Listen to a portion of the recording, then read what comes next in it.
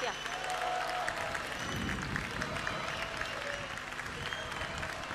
Muy buenos días, Zaragoza. Buenos días, compañeros y compañeras. Es un placer estar hoy aquí con todas vosotras, con, todas, con todos vosotros, un año más en esta fiesta de la primavera. Me dijo Pablo Echenique cuando decidimos que Zaragoza fuera eh, la anfitriona de la fiesta de la primavera para el 2023 que en esta ciudad nunca hace buen tiempo, solo hace frío o hace calor. Y desde aquí le deseo una pronta recuperación y le digo que tenía razón.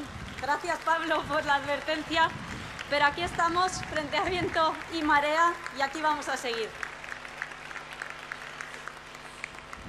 Estos encuentros son muy importantes porque nos permiten volver a mirarnos a los ojos, volver a reconocernos como lo que somos, militantes de Podemos, compañeras y compañeros que estamos juntas en los momentos más felices, como hoy, en el que además celebramos esa ley de vivienda, pero sobre todo en los momentos difíciles. Lo primero que quería deciros, compañeros y compañeras, es gracias, porque gracias a la militancia de Podemos que nos arropa, que nos cuida, que nos da fuerzas en los momentos difíciles, es como hemos llegado hasta aquí. Gracias a vosotras y a vosotros. Y gracias también a todas las personas que habéis donado más de 700.000 euros en microcréditos, más que en toda la campaña de autonómicas y municipales de 2019 en solo tres semanas. Sabéis muy bien que quien manda, paga. Quien paga, manda. Y en Podemos manda la gente. Es verdad que el cierto te da un poco a la cabeza. Pero esto es más importante de lo que parece. Yo estoy muy orgullosa, compañeros y compañeras, de que a mí no me pueda llamar ningún banco a recordarme aquel préstamo que me hizo en campaña para que retire esta o aquella medida de vivienda. A mí no me puede llamar nadie, porque sois vosotros y vosotras quienes nos financiáis, quienes nos apoyáis y quienes hacéis posible que defendamos las medidas que son imprescindibles para la gente, pero que no le gustan a los poderosos de este país. Y también quiero, en este acto tan importante para Podemos, felicitar a los coordinadores y las coordinadoras autonómicas de Podemos, a la Secretaría de Organización de Podemos, con Lilith Bestringe a la cabeza, que habéis cerrado más acuerdos de unidad que nunca para estas elecciones autonómicas y municipales. Y mirad, me encantan las performances. Gracias. Una de las cosas más bonitas de este acto es que nos podamos encontrar con las compañeras y compañeros que están encabezando las candidaturas autonómicas y municipales para este 2023. Estas personas son los mejores candidatos y candidatas para estas elecciones. Son las personas que ya están cambiando este país y que van a seguir cambiándolo todo a partir del 2023. Gracias, querida Maru, por acogernos a todos en esta tierra maravillosa. Gracias por demostrar que desde una comunidad autónoma también se puede tomar en serio la ciencia, la innovación, por multiplicar por 15 las becas que reciben los estudiantes gracias a tu gestión. Y gracias porque los bomberos y las bomberas en esta tierra por fin trabajan en condiciones de dignidad los 12 meses del año. Has dejado muy claro que a Aragón le sienta muy bien que gobierne Podemos. Y gracias también Alejandra Jacinto, una compañera que lleva muchos años defendiendo el derecho a la vivienda, poniendo el cuerpo frente a los fondos buitre. Y por eso, porque se ha enfrentado a los más poderosos, es la que mejor se puede enfrentar a la líder simbólica de la derecha, la señora Isabel Díaz Ayuso. Desde aquí le mando también un saludo muy cariñoso a Héctor Illueca, también convaleciente. Solo hay una cosa que el vicepresidente puede hacer mejor que ser vicepresidente, es ser presidente de la Comunidad Valenciana a partir del 28 de mayo. Una persona que ha sido capaz de mirarle de tú a tú a la Sareb, incrementar el parque público de vivienda en 500 viviendas. Illueca ha convertido a la comunidad valenciana en una referencia absoluta en políticas de vivienda. La única persona en aquella tierra que se atreve a decir que capitalista despiadado es una definición únicamente muy gráfica de lo que es el señor Juan Roch, un orgulloso heredero de Anguita que vino del Frente Cívico para aportar rebeldía y espíritu republicano también a Podemos. Y gracias, María Marín, por hacer frente en la región de Murcia al peor partido popular de la corrupción, del transfugismo, por haber defendido nuestro medio ambiente, el Mar Menor. Si no fuera por ti, María, hoy el Mar Menor no sería sujeto de derechos. Gracias por dejarte la piel. Antonia, candidata en Lesilles. Contigo al frente, nunca más se va a volver a decir que, que los derechos de las camareras de piso son una tontería. Nunca más. Gracias a Podem, hoy Lesilles Balears son la única comunidad autónoma de todo nuestro país que tiene una empresa pública de energía 100% renovable. Habéis vuelto a demostrar que con voluntad política se puede. Claro que se puede. Y Noemí Santana, candidata en Canarias. Gracias, Noemí, por demostrar que no todas somos iguales en política. No. Has puesto en pie la renta canaria de ciudadanía. Has demostrado que se puede invertir en dependencia la comunidad autónoma que más ha aumentado las personas dependientes con prestación. Te lo digo como secretaria general y como ministra. Nos has hecho sentir muy orgullosas, Noemí. Antonia y Noemí están explicando una cosa que es de sentido común, que es que las islas, nuestras islas, no pueden ser un resort de lujo para ricos, que es necesario limitar la compra de vivienda a los no residentes para que la gente de las islas pueda tener también una vivienda asequible y digna. José Luis García Gascón, decíamos el otro día, visitando juntas el Tajo, en Castilla-La Mancha confluye lo peor del bipartidismo, Castilla-La Mancha necesita un cambio y el cambio va a llegar a partir del 28 de mayo con Podemos y contigo a la cabeza.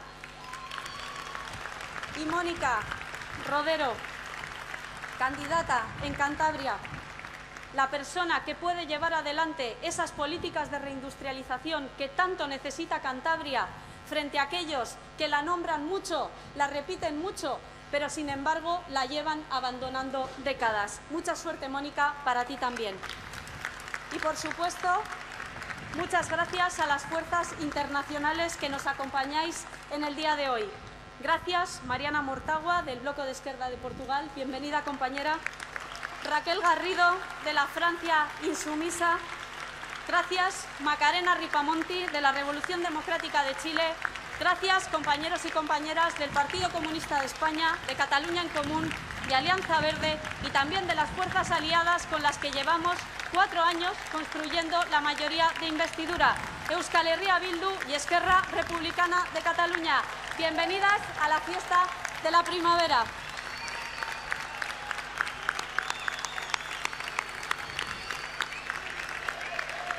Sí se puede, sí se puede.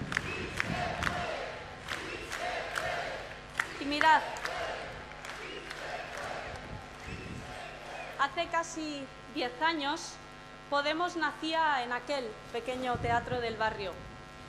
Y sorprendentemente somos la única fuerza de nuestro país que lleva desapareciendo desde que nació. Voy a leeros algunos titulares sorprendentes con su fecha, a ver si entre todas y todos encontramos algún patrón. Diario El País, mayo del 2015. El Partido Socialista se acerca al PP, Podemos se desploma y Ciudadanos se dispara. El Confidencial, octubre del 2015. El PP ganaría las elecciones, Ciudadanos ya es segundo y Podemos se cae. ¿Recordáis, compañeros y compañeras, qué es lo que pasó justo después de aquellos titulares? efectivamente que Podemos entró en el Parlamento con el mejor resultado histórico de la izquierda de nuestro país, que Ciudadanos fue cuarta fuerza y que hubo una mayoría progresista que en aquel momento no se transformó en un gobierno de coalición por la negativa del Partido Socialista. Se decía antes de aquellas elecciones, ya en el 2015, Podemos se cae, Podemos se desploma. Sacamos, compañeros y compañeras, 69 diputados y diputadas. Más titulares. El Mundo, octubre de 2017, Podemos se desploma. El Español, noviembre de 2017, la crisis catalana dispara a Ciudadanos, hunde a Podemos y daría un escaño a Vox. La Vanguardia, marzo de 2018, Ciudadanos atrapa al PP mientras el PSOE se estanca y Podemos se hunde. El Independiente, junio de 2018, el PSOE hunde a Podemos y ganaría las elecciones con un bipartidismo reforzado. El Independiente, agosto de 2018, esta me gusta mucho porque yo era portavoz adjunta. Podemos se hunde tras la ausencia de Iglesias y Montero. ¿Recordáis qué pasó después de estos titulares? Efectivamente, conformamos el primer gobierno de coalición desde la recuperación de la democracia. Repiten como un mantra que Podemos se hunde. Llevan diciéndolo incluso desde antes de aquellas elecciones generales en las que sacamos 69 diputados. Lo han repetido compañeros y compañeras cada día, cada día de estos nueve años y lo van a seguir repitiendo. Después de eso, Podemos ha obtenido los cuatro mejores resultados de la izquierda en unas elecciones generales. Hemos entrado por primera vez en el Gobierno del Estado. Pero ahora, lo bueno, compañeros y compañeras, es que ya sabemos que esto no es una descripción de la realidad, es la expresión de un deseo. El deseo de acabar con Podemos, la herramienta política, compañeros y compañeras, de la gente que no se calla, de la gente que no se calla ante las injusticias, de la gente a la que no le da igual que desahucien a su vecina, de la gente a la que no le da igual que digan a los inmigrantes por la calle, vete a tu país, de la gente que se levanta en el metro si ve a un chico zarandear a su novia, de la gente que no se cree los bulos y las mentiras de Ana Rosa Quintana, por mucho que las repita en cada tertulia de la gente, compañeros y compañeras, que nunca se pone de perfil. Su insistencia en que Podemos se hunde es acabar con el deseo de una fuerza política que ha sido capaz de transformar la indignación en políticas concretas, de subir como nunca antes el salario mínimo interprofesional, de construir toda una nueva generación de derechos feministas gracias al liderazgo de esta mujer. Una persona que ha llevado las demandas feministas más lejos que nadie, nunca en este país. Gracias por convertirnos en una referencia mundial en políticas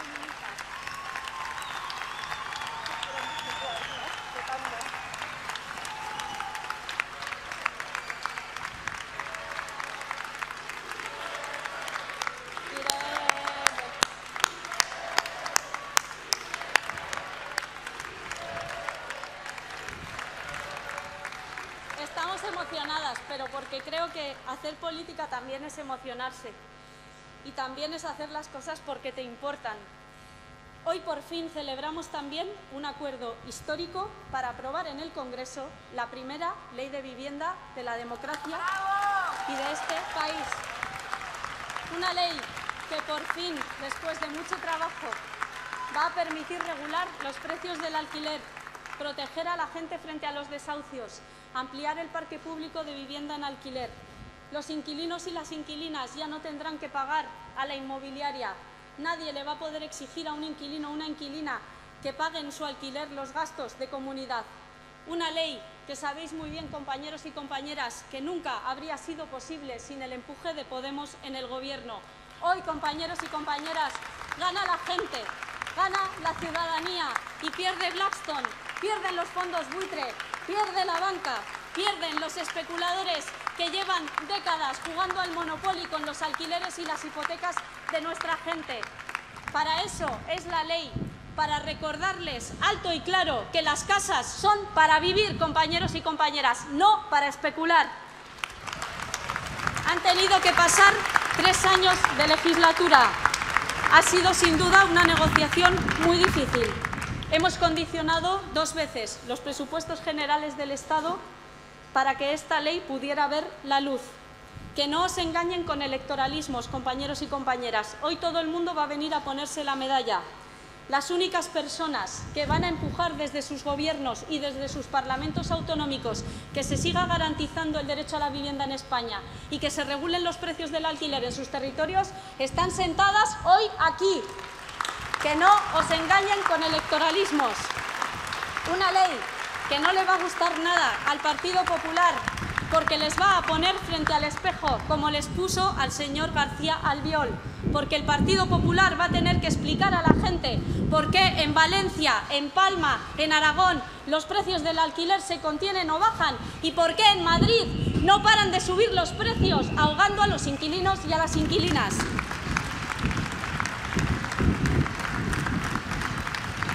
Eso es Podemos, una fuerza política que no se calla, ¿Os acordáis, compañeros y compañeras, todo lo que nos dijeron? Todo lo que nos dijeron cuando simplemente nos preguntábamos si acabaríamos viendo militares españoles combatiendo en Ucrania. Todo lo que nos dijeron por decir una obviedad y es que estaban haciendo cosas que dijeron durante mucho tiempo que no harían, enviar tanques, enviar misiles antiaéreos. Pero nosotras no nos callamos, somos una fuerza política que no abandona a su gente, no abandonamos, abandonamos, tampoco a nuestros hermanos y hermanas saharauis, por mucho que el Partido Socialista se arrodille ante el reino de Marruecos. Aquí estamos, compañeros y compañeras, por mucho que le pese al señor Juan Roch, a la Sana Patricia Botín, a Joan Clos, a Rafael del Pino, a Garamendi, a las élites que llevan muchísimo tiempo en España apoltronadas sin hacer nada más que vivir del cuento frente a la gente humilde. Y aquí estamos también, por mucho que le moleste a quienes quieren que la izquierda vuelva a ser como la de antes, relegada a una esquinita del tablero, un adorno del Partido Socialista, sin capacidad de influir en la política de este país. Nosotras no somos eso y no lo vamos a ser. Me vais a permitir que lea un último titular Periódico, el periódico, mayo de 2019. Iglesias se hunde en vísperas de su negociación con Sánchez. Un titular justo después de las elecciones autonómicas y municipales del 2019. El Partido Socialista estaba esperando que nos fuera mal en las elecciones autonómicas y municipales para así no tener que pactar con nosotras una coalición, a pesar de que eso significaba para mucha gente de este país vivir peor. Esa arrogancia y esa confusión entre su deseo y la realidad provocó una repetición electoral que hizo que el Partido Socialista perdiera más votos que Unidas Podemos y que hoy 52 fascistas tengan escaño en el Congreso. Qué importante es, compañeros y compañeras, la memoria. Qué importante es la memoria para entender el presente. Siempre hay que recordar, como nos decía ayer Tati Almeida, siempre hay un fino hilo que teje a lo largo del tiempo la historia de quienes nunca se han callado en este país. La historia de las que alzaron la voz, las que se plantaron ante los abusos, las que dijeron que no al poder. De ahí venimos, compañeros y compañeras, y nos sentimos muy orgullosas de ello. A veces ese hilo se ha tejido bajo un sol radiante, otras, las más de las veces, compañeros y compañeras, bajo una noche sin luna. A veces ese hilo ha sido siempre democrático, rebelde, republicano, pero no se empezó a tejer ayer, se empezó a tejer hace mucho. De él venimos y humildemente trataremos de entregar ese, testigo con dignidad a las que vienen tras nosotras. El hilo de los comuneros de Castilla que se le rebelaron para exigir que la tierra volviera al común, el de los irmandiños en Galicia, cuando el pueblo se levantó frente a los abusos de la nobleza, el hilo que tejió el pueblo de Madrid el 2 de mayo, cuando la gente humilde no obedeció a las élites y defendió la soberanía de su país, el hilo del movimiento obrero que organizó la huelga de la canadiense, paralizó la industria catalana y convirtió a este país el primero de la historia en tener por ley la jornada laboral de ocho horas. Lo hizo el pueblo de este país cuando trajo en las urnas la, Segunda República, echando a la monarquía corrupta. Lo hizo el campesinado extremeño, ocupando pacíficamente las fincas aquel 25 de marzo de 1936. lo tejieron los hombres y las mujeres que entregaron su vida por la democracia para defendernos de los fascistas. Lo hicieron los fusilados y los tirados en las cunetas, a las que violaron y les raparon la cabeza. También los poetas, García Lorca, Machado, Miguel Hernández, los que nos recuerdan, compañeros y compañeras, que vale más una gota de valentía que un océano cobarde. El hilo de las mujeres y los hombres que trajeron la democracia peleando contra el franquismo en la clandestinidad. Recogemos el hilo de quienes han cuidado y protegido su lengua, de quienes sueñan, lloran, se enamoran, se emocionan en euskera, en catalán, en valenciano o en gallego. El hilo del pueblo andaluz que aquel 4 de diciembre se levantó para decir que Andalucía como la que más. Las millones de personas que salieron a la calle a decir no a la guerra frente a una invasión criminal los aragoneses y las aragonesas que tantas veces habéis salido a la calle a decir que el río Ebro no se toca, quienes pusisteis el cuerpo frente a los desahucios, el 15M, el 8 de marzo, las taxistas, los pensionistas, las trabajadoras del hogar, los mineros y quienes defienden el mar menor. Compañeros y compañeras, venimos de lejos, pero tened muy claro que no nos temen por lo que ya hemos logrado, nos temen por todo lo que podemos conseguir en el futuro.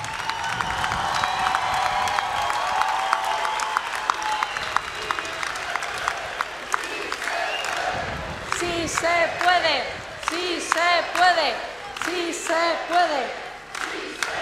Nos temen porque nadie sabe aguantar la presión como la gente de Podemos. En solo una década hemos conformado el primer gobierno de coalición de la historia democrática reciente.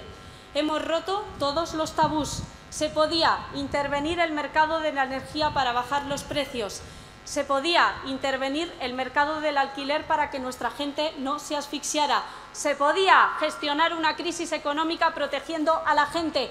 Y no solo era socialmente lo mejor, era también económicamente lo más justo los 20 millones de personas trabajando que hay ahora mismo en España lo demuestran muy bien. En esta década hemos sobrevivido al acoso de las cloacas, a los periodistas corruptos como Antonio García Ferreras, a la guerra judicial, a las fake news, sin dejar ni un solo día que eso nos distrajera de trabajar para nuestra gente. Pero estoy convencida de que lo mejor, compañeros y compañeras, todavía está por llegar. Si en diez años hemos conseguido todo esto, imaginad lo que podemos conseguir cuando Podemos sea la primera fuerza en el Gobierno. Pero para eso os necesitamos a todas y a todos. Os necesitamos militando, haciendo campaña, alzando la voz frente a las injusticias, cada día, en cada barrio, en cada rincón de este país, construyendo esperanza. No esperanza como un artificio, no esperanza como un discurso primaveral que no cambie nada, construyendo esperanza como una tarea cotidiana, demostrando, compañeros y compañeras, con hechos concretos, que cuando nos juntamos, que cuando hacemos las cosas en equipo, somos más y las cosas que dicen que son imposibles se convierten en posibles. Porque Podemos es la fuerza que transforma. Nosotros y nosotras, la gente de Podemos, no solo tenemos las mejores propuestas, tenemos, ante todo, la valentía suficiente para aguantar todo lo que hay que aguantar para que esas propuestas se conviertan en realidad. Hoy todos nos felicitamos por el Gobierno de coalición, pero recordemos que cuando era difícil construir ese Gobierno de coalición, cuando había que resistir todo el acoso mediático para, buscar, para resistir a quienes nos decían que había que conseguir un acuerdo programático. En aquel momento nos quedamos solas.